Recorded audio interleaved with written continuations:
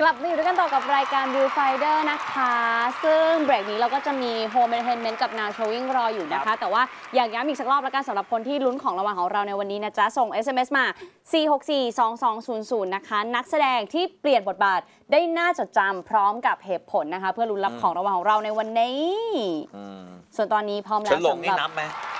อุ๊ยจากเคยเด่นกลายเป็นห่วยอะไรเงี้ยล่าสุดอะที่เขาเล่นเป็นแบบ อะไรสักอย่างแล้วใส่แว่นหลีอะเหรียญเจี๋ยก่อนเดี๋ยวดูนะทำไมเจ็ตลีนี่ในเจ็ตลีบางทีก็เปลี่ยนไปเลยนะ เดี๋ยวดูในในมู่หลานผมเห็นแล้วว่าโอ้ยนี่เจ็ตลีเหรอเออแต่เจ็ตลีในมูหลานหนูว่าพระเปลี่ยนจักเยรอะพรรดิเปลี่ยนไปเลยมึงจะถีบใครได้วะเพราะเขาไม่ถีบไงเรื่องนี้นะคะอะก็ส่งมาได้เรื่อยๆนะคะ4 6 4 2 2 0 0ส่วนตอนนี้ถึงเวลาครัขบอง Home Entertainment ค่ะอืม What's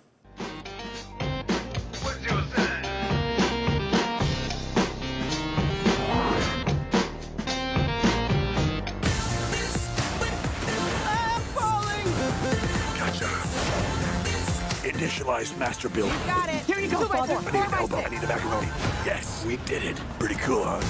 Why did you build this thing with only one seat? Uh, because last I checked, I only had one butt. หนัง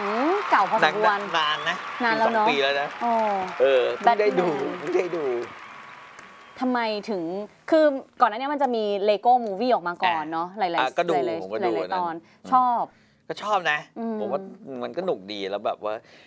อืมคนกลุ่มคนทำเก่งมากค่ะที่จะแบบเล่าเรื่องที่แบบไอ้เลโก้ทำให้คนเราเราผูกพันกับมันได้นะอ่าเออจำได้ว่าภาคแรกจบประทับใจมากใช่เรียนรู้เติบโตกันอืมเฉยเลย ภาคนี้ก็สนุกคือจริงๆเอาจริงๆนะ ลูกมันดูอือหือผมเห็นลูกผมมันเปิดดูสองสารอบแล้ว ผมว่าเฮ้ยมันดูอะไรกันวะค่ะสุดท้ายอะก็เลยมานั่งดูกับมันเอาแล้วหน่อยเฮ้ยหนุกเว้ยความสนุก คือคือขอถามกันดีกว่า การที่หยิบแบทแมนมาเล่าผ่านเลโก้เขาเล่าอะไรของแบทแมนคะจริงๆเขาเล่าเรื่องราวของแบทแมนน่ะแต่ว่าคือแบทแมนเนี่ยอ่า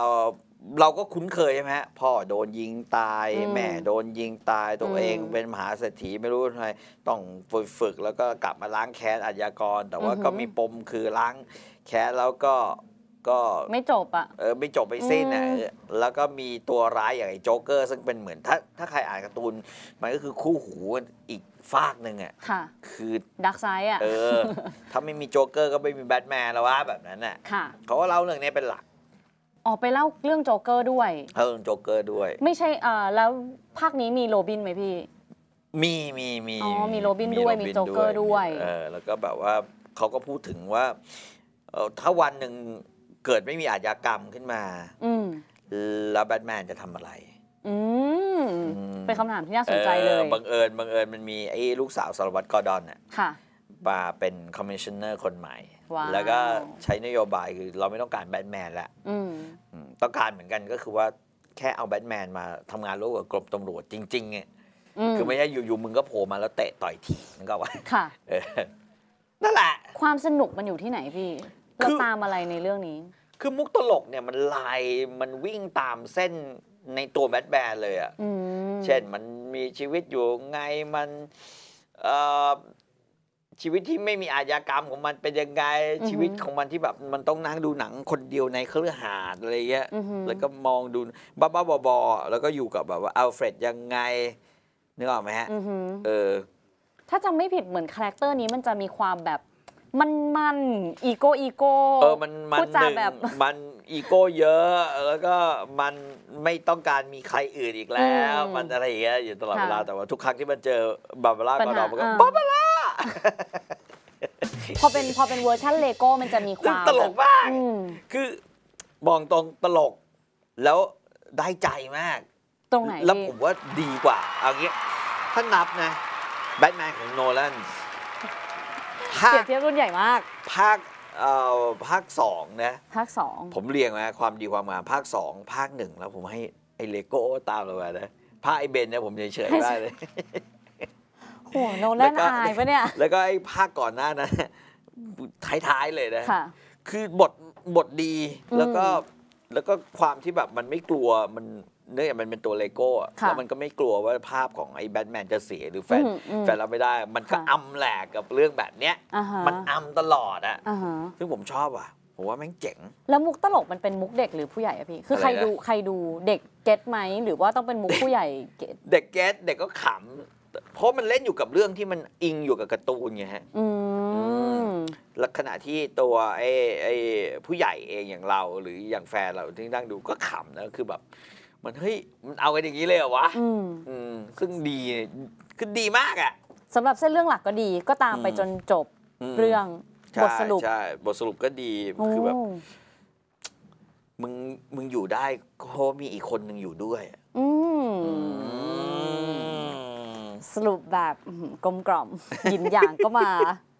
ถือว่าถือว่าเป็นเรื่องที่ชอบเลยในตระกูลเลโก้ป่ะพี่หรืใช่อว่า ใช่ ชอบ เออว่ะชอบชอบ เพราะมันมีเลโก้อีกอันหนึ่งที่ผมดูแล้วผมเฉยๆอะอืมแต่อันเนี้ยดูแล้วแบบเอ้ยมันเจ๋งว่ะอือหือแล้วก็โอ้มีแบทแมนด้วย มีแบทแมน มีวันเดอร์วูแมนมาซูเปอร์แมนออกมานิดนึงอ่ามาแจม เขาจัดปาร์ตี้กัน แล้วเขาไม่เชิญไอ้นี่เอาเหรอมันอ๋อเดี๋ยวก็เป็นมุกแบบ เออ เดี๋ยวมาแล้วงานเครียด ถือว่าเป็นมุกที่ทำงานดีกับพี่ต่อเลย เพราะฉะนั้นใครที่ชอบ แล้วแบทโคตรรุนแรงเลย เจอเตะต่อยทีมตลอดเวลาจริงเหรอ ในในในเวอร์ชันนี้เหรอ ในเวอร์ชันนี้จำไม่ได้อะหนูเจอว่าหหนูน้าดูใครเตะต่อยทีมแต่ก่อนอะก่อนที่จะอีกฝ่ายจะลงมือได้วยนะ พี่เอาก่อนละ แล้วพี่ก็แบบว่าฉลาดมากพี่คิดทุกเรื่องได้ แล้วมันก็อำกับเรื่องพวกเนี้ยไอ้แบทแมนฉลาดฉลาดอ่าหลายเรื่องโง่ๆอะแบบว่า autopilot อืม autopilot มันมีฉากหนึ่งที่แบบเขาจะต้องบินแล้วก็มีหลายคนนะมีแบทเกิร์ลมีนู่นนี่นั่นอะค่ะเอ้ยอย่ามายุ่งกับ cockpit ของกูอืมเดี๋ยวกูจะออกไปแก้ไขโดนจรวดยิงไอ้เครื่องเจ็ตอยู่ข้างหลังนะว่าเอ้ยอย่ายุ่งอย่ายุ่งอย่ายุ่งค่ะเดี๋ยวให้ autopilot อือฮึควักเชือกมาควักเชือกก็มา แล้วมันก็กระโดดไปซ่อมใช่นั่นคือ autopilotแล้วมันก็โดดไปข้างหลังแล้วมันก็ซ่อมซ่อมซ่อมเสร็จจนเครื่องก็จะตกอยู่แล้วไอ้แบทวูแมนก็ไอ้แบทแบทเกิร์ลก็เลยกระโดดมาแล้วก็แบบว่ากูดึงกูดึงเครื่องเอง เสร็จแล้วพอมันซ่อมเสร็จมันก็กระโดดกลับมา อืมในที่สุดเชือกก็ทำงานเป็นผลสำเร็จ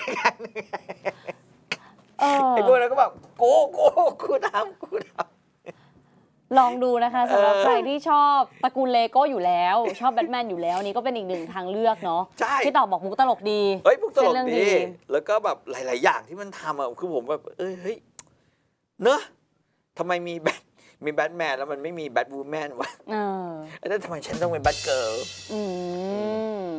ก็ตั้งคำถามกับสิ่งที่การ์ตูนมีด้วยใช่ส่วนหนึ่งใช่เนาะตลกดีค่ะ พี่ต่อให้คะแนน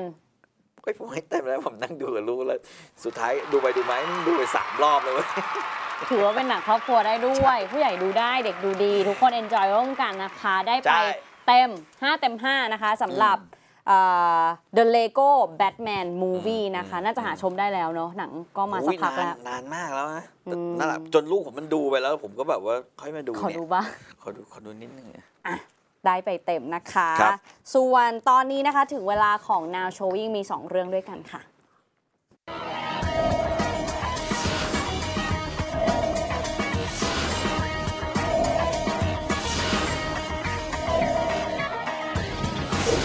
네가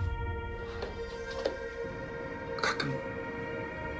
다른 사람이 돼. 사실은 다 제 잘못이에요. 지영 씨 부족해서 그런 거 아니야. 지영아, 너 하고픈 거 해.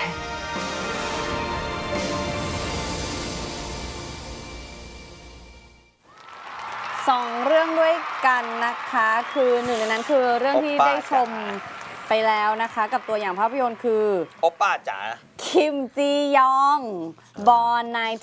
1982 นะคะ อีกหนึ่งเรื่องก็คือเรื่องที่เข้ามาก่อนหน้านี้นะคะ Beautiful Day in the Neighborhood อืมเอาเรื่องไหนก่อนดีพี่ Beautiful day in the neighborhood แล้วกัน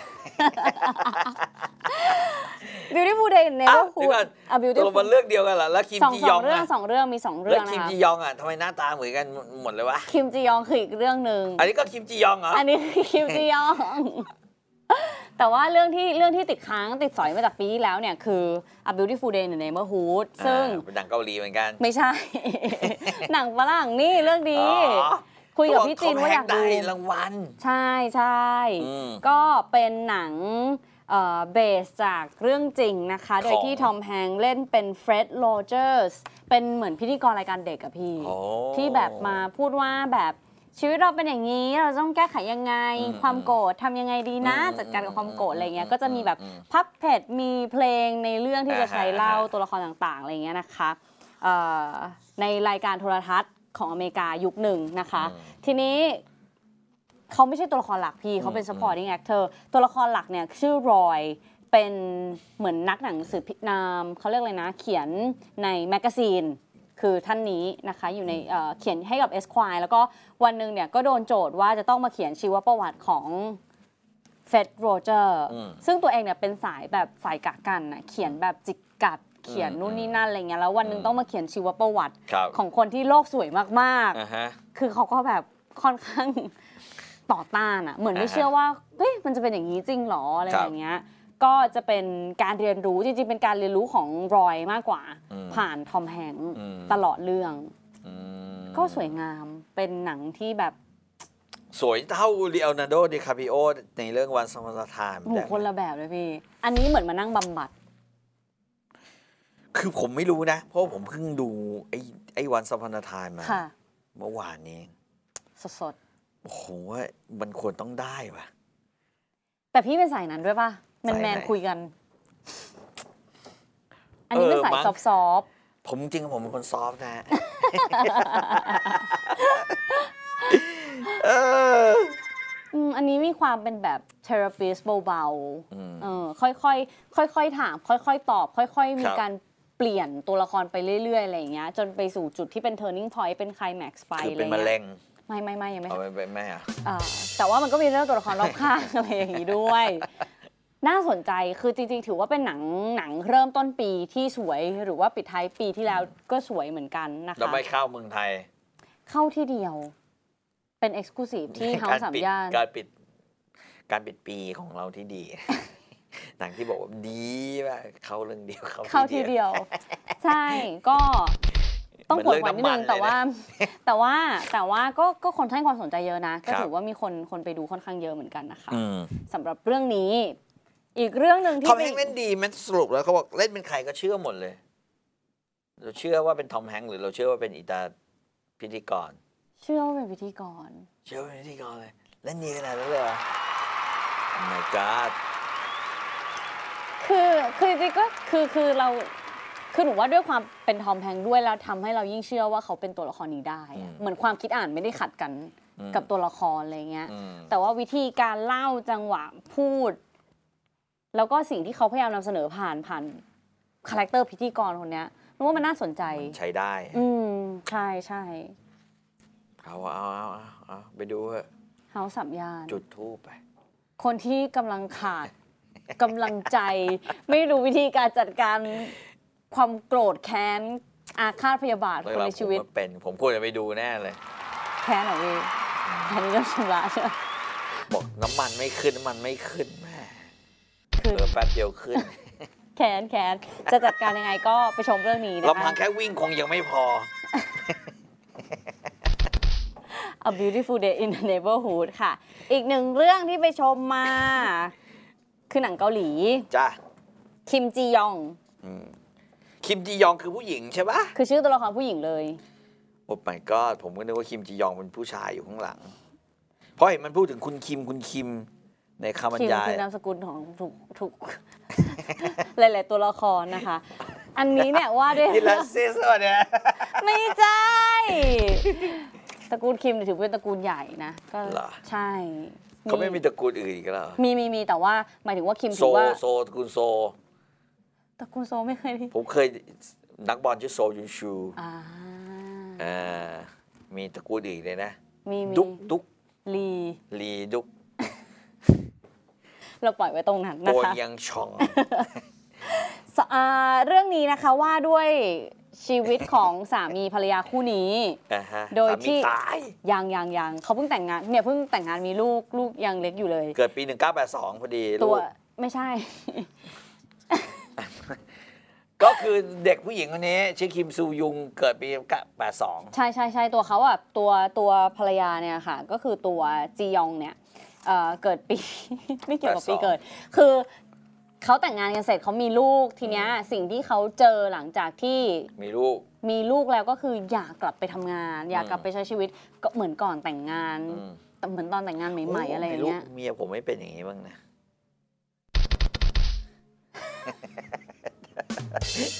ทำไมอะพี่หมายถึงยังไงอะโอ้โหแบบ ไม่ทำพี่หาเลี้ยง อยากเลี้ยงลูกใช่ปะใช่ เออคือมันก็มันก็แล้วอยากเดียวเลย แล้วแต่คาแรคเตอเรียกร์ หัวจะเคยฟูนะปัจจุบันต้องเรียบปิ๊บเลยเนี่ย เพราะว่าในเรื่องเนี่ยก็ให้เห็นจริง ๆ ให้เห็นชีวิตสาวเกาหลีในหลากหลายรูปแบบเหมือนกัน อืม คนที่กลับไปทำงานได้ คนที่ทำงานตั้งแต่ช่วงลูกเกิดเลยอืมเป็นแบบ working woman ไม่เปลี่ยน คนที่แบบเคยทำงานดีๆ แล้วต้องเปลี่ยนตัวเองไปเป็นแม่บ้านอะไรเงี้ยอืมก็สะท้อนหลากหลาย รวมถึงมันไปไกลกว่านั้นตรงที่ว่าวิธีการดูเขาเรียกอะไร การ treat การการดูแลกันของผู้หญิงกับผู้หญิงด้วย เช่น แบบแม่ยาย แม่สามีอะไรอย่างเงี้ยวิธีการตาย เอ่อความใช้อ่า ลูกสะใภ้การดูแลลูกสาวในบ้านวิธีการต่างๆคือดูและไรเงี้ยลูกลูกเอ่อหลานมากกว่าดูแลลูกสะใภ้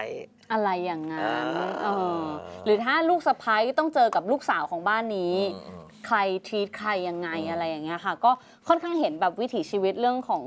เนี่ยผู้หญิงในเกาหลีเลย อืมแล้วก็ความน่าสนใจของเรื่องเนี้ยที่คนพูดกันเนี่ยก็คือ พระเอก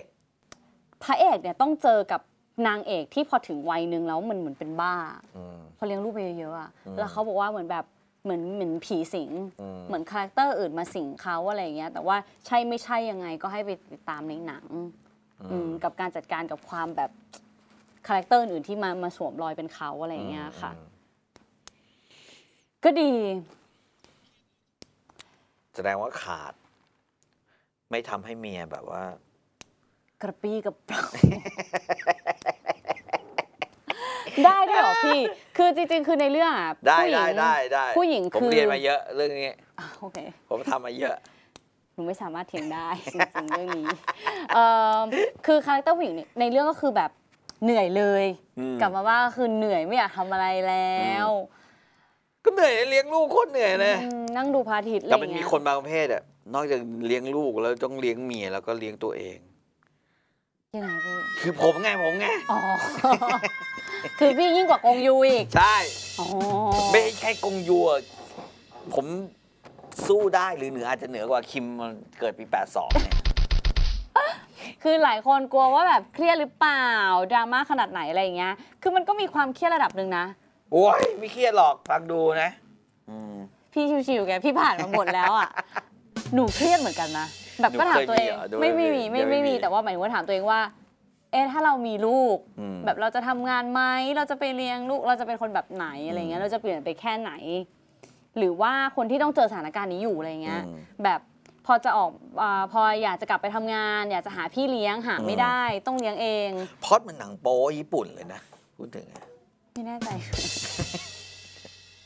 แม่บ้านที่ถูกทิแบบว่าอ๋ออารเอมณ์อนั้นทุกอย่างอะสุดท้ายอะเสร็จะจอยู่ช่างยังไงไฟ ต่อเอ้ย หรือไม่พนักงานเอ็กเพรสทั้งหลายที่มาส่งอะเห็นทุกวันเจอกันทุกวันสุดท้ายต้องกินกาแฟเฮ้ยแต่ว่าเรื่องนี้พระเอกเขาก็พยายามทำเต็มที่อะนะคะอ่าฮะก็ถามว่าเครียดไหมคือ มันก็มีจุดที่ถ้า ถ้าเรารู้สึกร่วมมันก็เครียดแต่ว่า ถ้าถ้าเราแบบเนี่ยผ่านชีวิตโชคโชนมาแบบพี่ต่อก็อาจจะแบบอ๋อเรื่องเล็กๆชีวิตจริง เราทำได้ดีกว่านี้อีกอะไรเงี้ยก็เป็นไปได้ ก็ขึ้นอยู่กับประสบการณ์ของแต่ละคนนะคะดราตลกไหมม่าตั้งแต่มีพูดเรื่องไอ้หนังเกาหลีเรื่องเดียวไม่มีใครสนใจเลยสนใจเลยจริงเหรออืมอืมอืมอืมเศร้าเลยอะไม่ได้ไม่ได้ดราม่าน้ำตาแตก อืมแต่ว่าก็ก็ก็ถือว่าเป็นหนังแบบดรามาติกระดับหนึ่งใช่ครับค่ะ อืม ก็เป็นสองเรื่องเอา ที่ละเลือกมา อยากไปดูก็ดู อืมใช่ ทำไมเราจะต้องทับถมตัวเองให้แบบว่าแย่ไปกว่าทุเดิกข์มใช่ไหม ด้วยการดูหนังที่แบบว่าหนักๆบ้างมีทีมงานอายุ 32 เป็นผู้หญิงร้องไห้อะทีมงานเขาบอกมา นั่งดูทุกเรื่องก็ร้องไห้หมดแหละที่เป็นเกาหลีนะห็อ๋อโป้ที่เป็นเกาหลี พูดน้ำตาแตกแล้วร้องไห้ที่เห็นพระเอกแหละอืม อะถ้าดูกงยูนะบอกเลยว่าเรื่องนี้เล่นดีมาก เต็มที่นะนักแสดงทุกคนเล่นดีมากแบบ เก่ง แล้วก็แบบกงยูนั่นแหละไม่รู้จัก อ๋อโอเค ขนาดไม่ออกนามก็ เสร็จพี่ต่ออยู่ดีนะคะ สองเรื่องก็คือแนะนำสำหรับใครที่อยากแบบลอง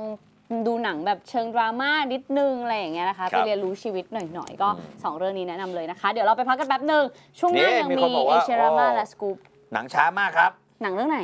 ตะเกียทั้งสองเรื่องนะจริงๆแล้วแอบชานิดนึผมงว่าพี่ต่อดูพี่ต่อหลับแน่นอนครับ พี่ต่อโชคโชนกว่าไงจริงๆ แปดสองนี่เบเบเลย เลขพี่ต่อนี่ แค่เป็นแบบต่อพงหนึ่งเก้าตืดตืดเท่านั้นแหละ จบ เดี๋ยวเรากันพักแป๊บหนึ่งนะคะ ช่วงหน้ามีสกูปรออยู่ค่ะ ครับ